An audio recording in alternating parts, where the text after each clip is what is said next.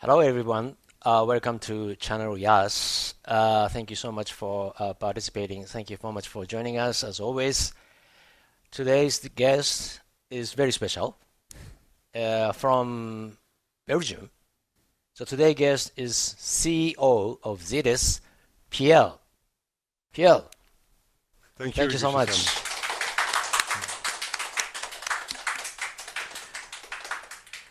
Thanks So- to invite me. Thanks oh, thank you for uh, I mean uh, uh, joining us. Um, it's a very uh, much honor uh, to uh, to have you uh, on this uh, most popular live show in Panasonic Channel Yasu.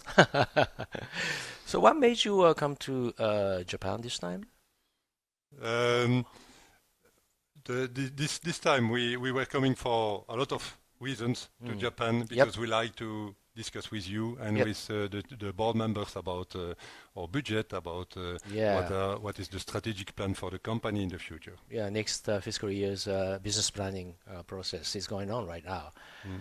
Okay, uh, so how often do you come to to to Japan? Uh, usually one or two times a year. No times. But then uh, for a week, so we have time to meet a lot of people, and that's also in, uh, always interesting to meet people because uh, when you are face to face, you can share much more ideas than when you do that in teams. Mhm. So therefore, I like Yeah. to come uh, to, to Yeah, to especially Japan. after COVID-19. I mean, face-to-face interaction is is is very important. Yeah, people yeah. noticed. And yesterday you went to Osaka. Yes, indeed, indeed. I had the opportunity to meet uh, the CEO of Panasonic uh, Holding. That was the first time for me. Um, First time yes, uh, yes, to meet Kusumi-san. yes, and to Ah. present to present our business. Was he nice to you? Uh, yes, he had some uh, hard questions. Hard uh, it was questions. okay. yes, and it was a pleasure to meet again uh, Umeda-san, uh, Shotoko-san, and uh. Sumida-san that I already knew. So. Oh, okay. Uh, all, all, all, uh, all of the uh, important people you met. So uh, I guess the people not uh, uh, yet uh, familiar with the uh. Uh, so uh, can you tell us about the Zetes a little bit? Yes, sure, sure. Um, you know, Zetes is part of Panasonic now for seven years. Huh? It's uh, already a long, long period of time. period time. But I can imagine that uh, we are still a small company compared with uh, the big business of But it's a Panasonic. very important company. Thank you. Um, we have two different business lines, what we call business lines, because finally um, we serve two types of customers. Mhm. The first one is what we call the goods ID business, and that's about execution of tasks on the supply chain. We help our customers to execute tasks in a warehouse or to execute tasks in the point of sale, in the in the shop or on the street. Mhm. Okay, that's one one business. The other business is uh, what we call people ID, uh, people Mhm. identification, and it's uh, a business where we serve governments and we offer them turnkey solutions to provide to the citizens uh, travel documents or ID documents, uh, because it's a very specific niche uh, market, Mhm. and you need to have very high skills, Mhm. and governments usually don't have those skills, Mhm. and then they they outsource, they give the mission to a company like Zetes to provide those travel documents or ID documents for years to their citizens. So in that case, you need to have a very high level of trust from the customers, meaning governments, right? And you are doing a very important project of passport and anything with the Belgium government, right? Yes, that's true. That's true. And the, the trust, you know, it takes years to Right. build the trust, and you can never lose the trust. So we are very cautious about uh, our reputation, and our reputation is uh, based on the quality of the service that we will deliver, our ability to provide the right documents to the to, to the citizens in the right time, Mhm. and then to keep the data because it's very sensitive data that we keep for the Yeah. accounts of the government about the citizens Mhm. and that's uh, uh, really there that we put the focus on our teams, and we have extremely good people to do that, uh, ex- experienced people. Mhm. And we are quite proud because uh, in Europe we have uh, uh, some governments uh, giving us uh, their trust. Yeah, Panasonic has been uh, acquiring uh, uh, a lot of uh, uh, companies, uh, and among those M&As, I think uh, this partnership is the most successful partnership in the history of Panasonic, I believe, because you sell Panasonic products in, in your area, and we sell Zetes product to in Japan. So that's something we haven't seen in the past. So really, really successful partnership. I really appreciate uh, your uh, collaboration mindset and uh, uh, team's efforts. So thank you so much. Yeah, we appreciate very much as well uh, because uh, since seven years that we are together with with Panasonic, we see every time the power of Panasonic, huh? and not only the power but also the the long-term view. Mm-hmm. That's what we really appreciate with yeah, Panasonic. Huh? So culturally, we are very close and similar.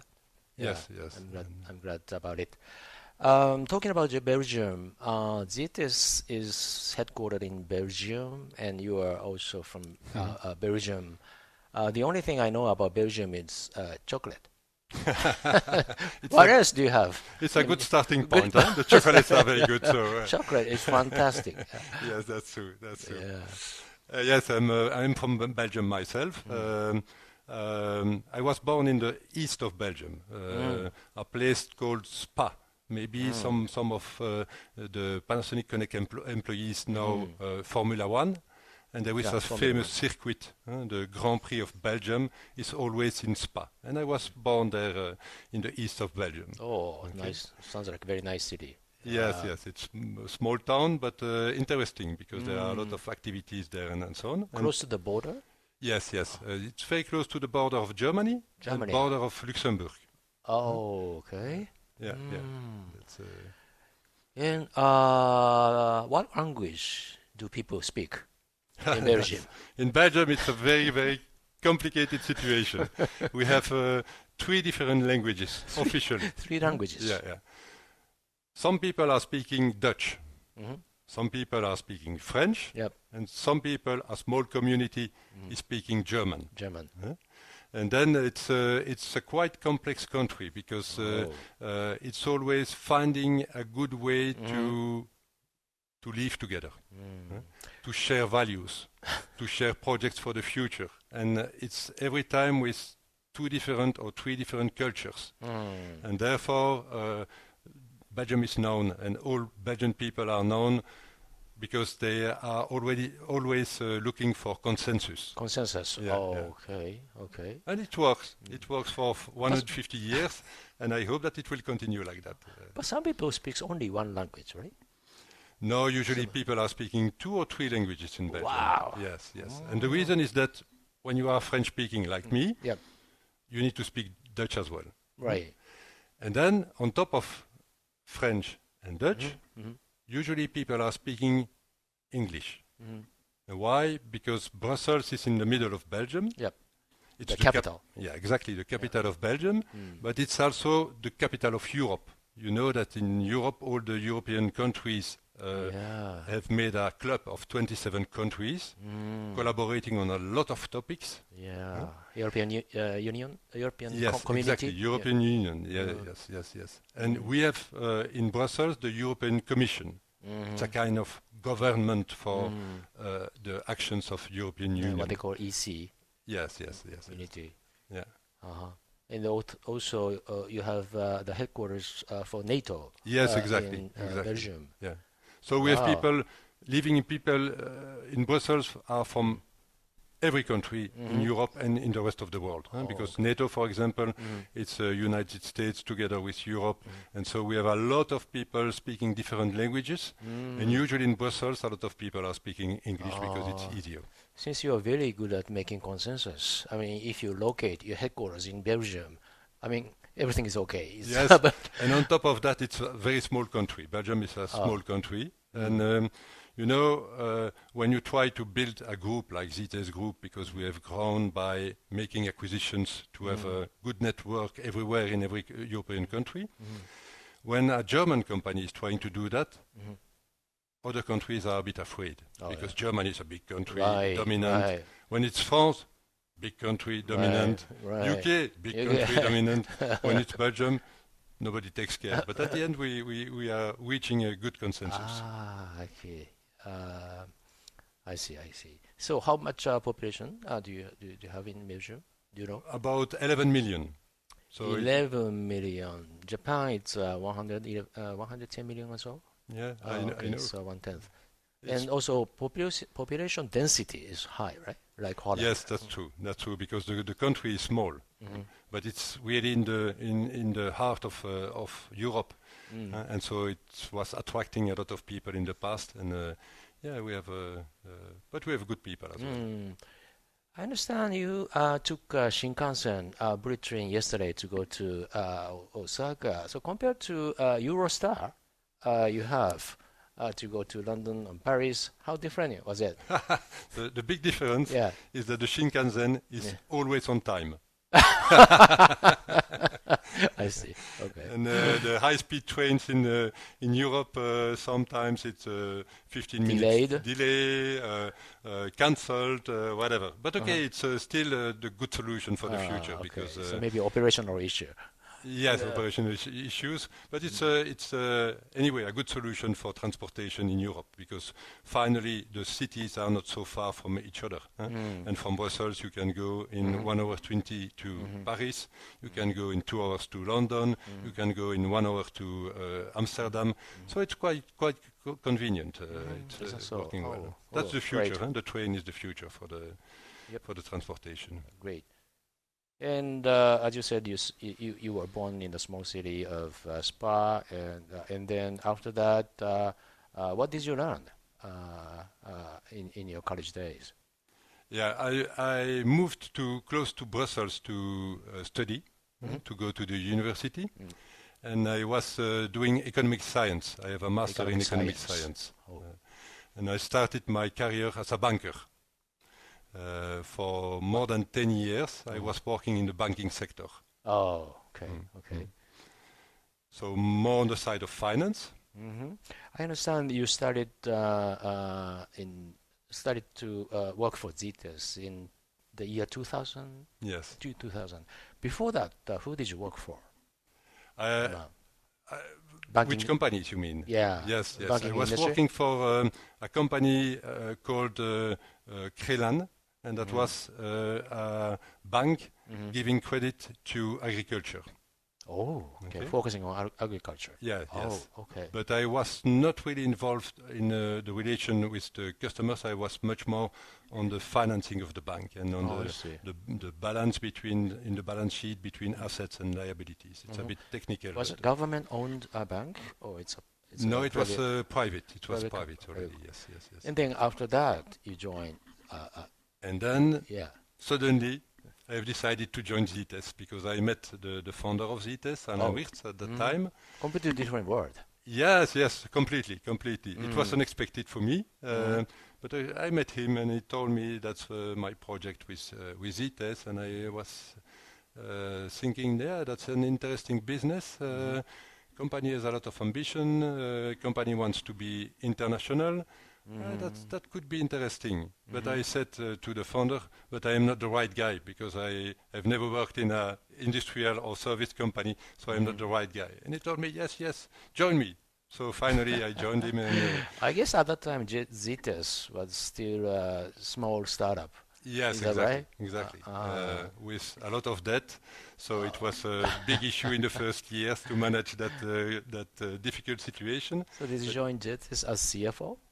Yes, yes. Ah, okay. to, to, really to structure the company and make make sure that the company was sustainable.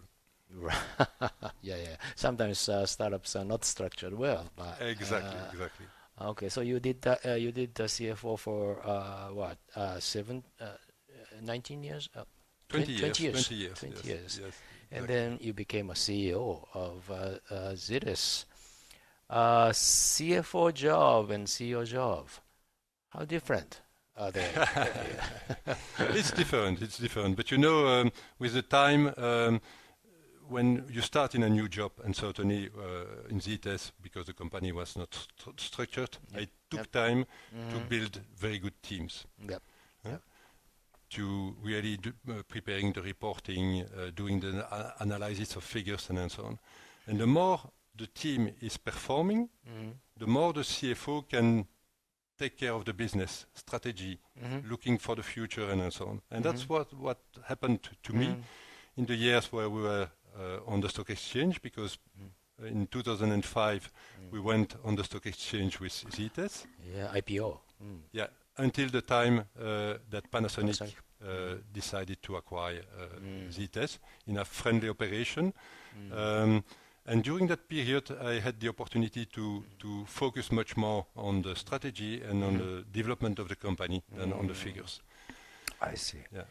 I guess most of the uh, CFOs uh, are just counting uh, beans and not want to be involved in strategy and even corporate culture and things like that. But you were, as a CFO, you were involved in the strategies and other component, uh, uh, other important components uh, around management? Yeah, that's ah. true. That's true. And it's the reason why when when it was about the succession and when you asked me to to, to become the CEO, um, I had some clear ideas about what ah. could be the future of. So that's why the transition was so smooth.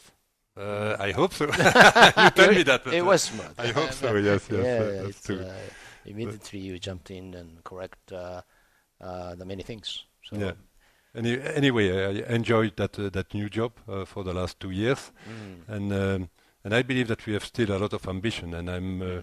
very grateful to to you, Iguchi-san, that you support us for for continuously develop the company and strategically invest. If it's so, I'm very grateful. But as a CEO, in terms of priorities you have, what are the high high high priority things right right now? Okay. Hmm. Uh, I need to say that there are more than one. More than one. Oh, Yes, okay. yes. Yeah. First of all, um, we we are a company, a service company using technologies, and Yeah. it's important that we continuously invest in new technologies. Right. Uh, the feeling that my mic is not uh, going well. Yeah, like that, it's okay. I hope so. So we need strategically to think about where do we need to be in five years, Yep. 10 years, huh? Yep. To make sure that we stay on the on the edge of the technology, Right. and that we can still provide good solutions and good services That to our customers very the important for any Okay. technology company. Yeah, exactly. Then the second priority is the people. Mhm. Uh, our employees are very important. Why? Because it's the main asset that we have in our company. Mm. It's the quality of the people, the brain of the people to give the right service to our customers. Otherwise, you cannot get trust. Yes, exactly, exactly. And trust is extremely important, Mhm. as we have said with uh, governance, for example. Yep. Yeah. So that's that's really the second uh, priority. And then I uh, we like to build a more and more sustainable company in Mhm. terms of um, in terms of future uh, for the company, but in terms as well of integration in the society and the role of our company in the society. Mm. Because you cannot develop a business for the business itself. Mhm. At the end, it needs to serve the society. Yeah. And so those three objectives are there. And one of them, if you want to be sustainable, you need to manage your reputation. Mhm. Yep. Reputation is extremely important in our in our business, Mm. in every business. But when you speak with governments about the the ID documents and, and so on, it's very important that we have a good reputation. The first one, technology. Uh, are there any uh, uh, specific areas uh, you want to focus? Uh, I mean, cloud services and software and other uh, hardware layers and others. Wh- wh- what are the you are technologically prioritized? Yes, yes. You know, for example, in uh, in terms of uh, ID documents, in the past, an ID document it was a protected piece of plastic. Mm. After that, it became electronic. Mm. We we have put a chip, protected chip, yeah, in the in the card, in order to make some transactions at distance. Huh? That was the second step. The next step, and that's ongoing now, there are new regulations, for example, in the European commu- community for that, mm, Yep. will be to get the ID documents on your mobile phone. Mhm. Mobile ID. Mm. Yes, mobile ID. But it's not a picture of your of your document that you mm. put in your in your mm. mobile phone. It's much more than that. It's really a secure document that you can, if you want, exchange with other governments. Mm-hmm. If you have your your your passport in your mobile phone, for mm-hmm. example, and you want to visit a country where you need to get a visa to enter the country, then you can with your mobile phone, you can Mhm. connect on the system Mhm. of the government that you that you want to visit and exchange data Mm. in an easy way, in a Mm. convenient way. Mm. That's and that's a totally new development, and that Mm. will be the future. And we invest a lot for the People ID division on the on that kind of uh, projects. I see. So in that sense, in Japan, uh, when it comes to new technologies and digital technologies, uh, people tend to say that uh, oh, there are many people who are who don't have mobile phones, smartphones. So what what are you going to do with those people? And that is slowing down the uh, progress or advancement of the new technologies. What about in, in Europe? No, no, it's exactly the same. So it's, it needs to be clear that uh, the, the physical document will never disappear. Oh, Huh? Mhm. Everybody will still have uh, a physical document. oh, But on top of that document, for reasons of convenience, huh, Yep, because yep, it's yep. easier, okay. you could get on top of your physical document your document on your mobile phone Mm. with Okay. different applications. Mm. But Okay. at the end, everybody will keep a physical document. That's that's clear. I see. Okay. So regarding the second priority, uh, people, uh, corporate culture, uh, I guess it's very important to retain good talents uh, for a long time. So what are the things you are doing, uh, Yeah. trying to retain uh, good people? What is the what is the secret sauce uh, to, to do that? Yeah, that's a, that's a, a big big problem for the future because uh, we have less and less people available, young people available on the market. so uh, it's difficult to attract them. Mm. They need to understand uh, what kind of business you do, Mm. but not only the business. What is the role of the company Mm. uh, in the society? Mm. they look to the purpose of uh, the company. Mm. So it's Purpose. important to show the purpose of uh, the, the company Mm. to attract new talents. Mhm. Yep. Attracting new talents is good, but the Mm. most important, if you have good talents on board, keep them on board. Mhm. Huh? Mhm. And therefore, you need to, to have a culture where people feel inside the company and being Mm. part of the project of the company. Mm. Zetes is still a small company compared with uh, Panasonic, uh, and therefore we, are able to show to our employees Mm. how far they can participate to very key projects for the society. Mhm. I When you issue a new travel document for a Mhm. country, it's really an amazing project, and some people, some engineers, being part of that and Mhm. seeing the scope of the project, they are very Mm. motivated to do that. Mm. Uh, yeah, I think uh, younger generation, uh, Gen Z, uh, is more uh, purpose sensitive, I would say, or more engagement kind of driven uh, than I thought. So uh, I think they are they are uh, only interested in, in, in money, but not, not, it's not the right case.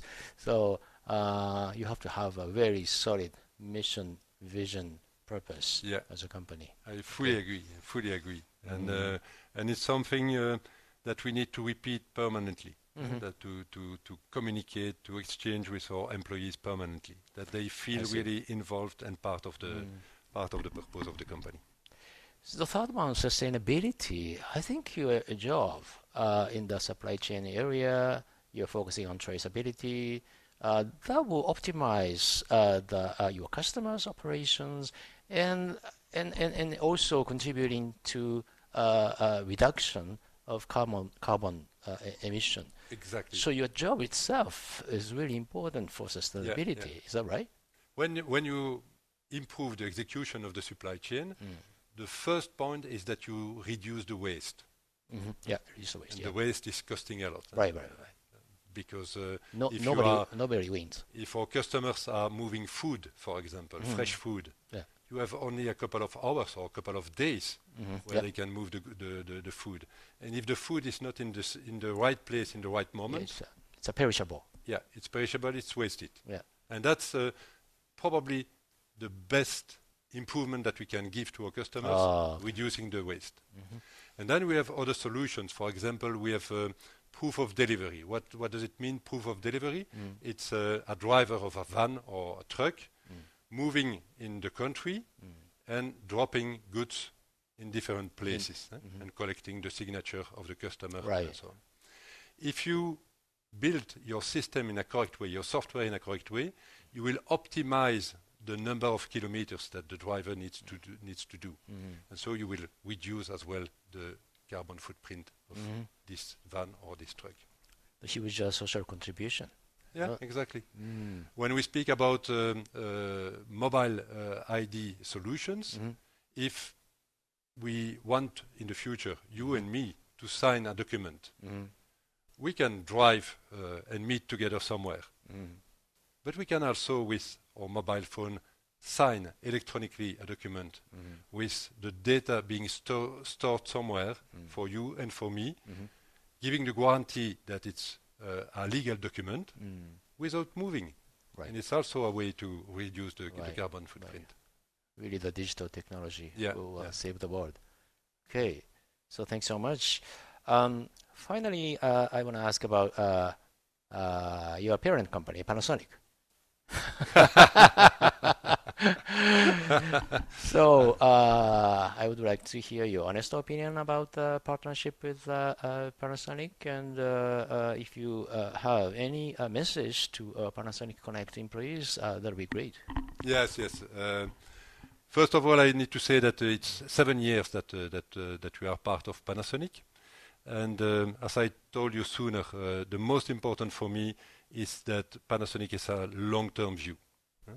When Panasonic proposed to Zetes to join the Panasonic group, there were some intense discussions about what will be the outcome.